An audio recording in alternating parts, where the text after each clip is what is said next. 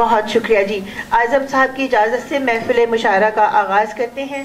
آج کا مشاعرہ علامہ اقبال کے نام ہے۔ حسب روایت مختصر سا کلام میں پیش کروں گی۔ زیادہ تر ہم آپ لوگوں سے سنیں گے۔ تو بات یہ ہے کہ یہ دوری کس قدر ضروری ہے؟ عرض کیا ہے کہ یہ دوری کس قدر ضروری ہے؟ زمین اور آسماں کا استارہ کافی ہے اور بنائے جاتے ہیں مشکل سے مراسم۔ اور ٹوٹنے کے لیے ایک اشارہ کافی ہے۔ اور اندھیری رات اور خاموشیوں کے جنگل میں روشنی کے لیے فقط ایک ستارہ کافی ہے۔ شکریہ جی۔ اور ایک مختصر سا کلام ہے کہ اس نے خود اپنے ہاتھ سے لکھا۔ میں جا رہا ہوں۔ کبھی نہ لوٹ کر آؤں گا۔ جسے کفسانہ نہیں ہوتا۔ اس کو آپ ذہن میں رکھیے کہ میں اپنے گھر آنگن کے پھولوں سے خفا ہوں۔ جہاں پر بیٹھ کر تم سے ہزاروں باتیں کی تھیں۔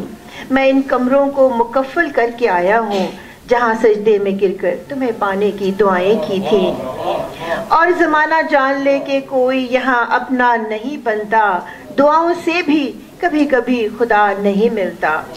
اور کسی پہ، شکریہ جی اور کسی کے نام پہ جینے کی وضاحت کیا ہے؟ کسی کے نام پہ جینے کی وضاحت کیا ہے؟